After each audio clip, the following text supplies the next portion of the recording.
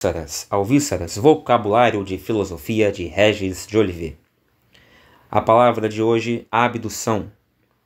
Já vimos que ab, esse prefixo ab, significa é, afastamento. Ducere, né? Ducere significa guiar. Então, guiar para fora, guiar para algo, para um ponto distante, para, para longe. Então, abdução é guiar para longe, é levar para fora afastar, desviar.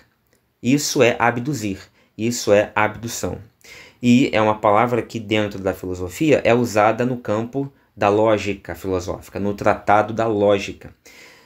É um silogismo no qual, sendo a menor menos evidente que a conclusão, ou seja, a premissa menor menos evidente que a conclusão da premissa da, do silogismo, a atenção desta se desvia para dirigir-se à menor. Exemplo: a ciência pode ser ensinada. Então, premissa menor. Ora, a justiça é uma ciência. Aliás, a ciência pode ser ensinada. Premissa maior. Ora, a justiça é uma ciência. Premissa menor. Logo, a justiça pode ser ensinada. Então você tem uma abdução aqui. Então vamos lá, repetindo aqui. Eu tenho premissa é, a ciência pode ser ensinada. É a premissa menor, na verdade, tá? Eu falei maior, mas não é não.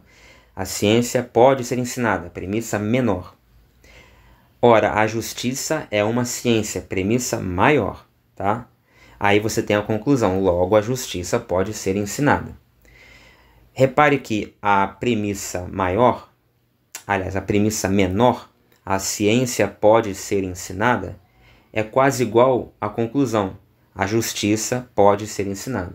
Só muda que na premissa menor eu tenho a ciência, que pode ser ensinada. E na conclusão é a justiça, que pode ser ensinada. Mas pelo fato de a conclusão, dentro do arcabouço lógico do silogismo, ter preferência, ter receber ênfase, maior ênfase, então ela se sobrepõe à premissa menor.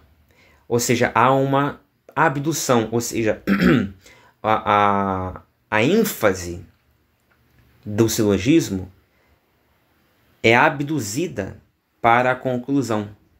Apesar de a conclusão dizer a mesma coisa da justiça do que a premissa menor disse da ciência.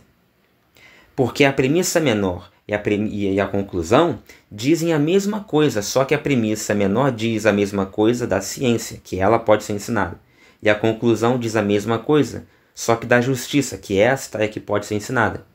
Logo, não era para ter uma diferença, digamos assim, de ênfase.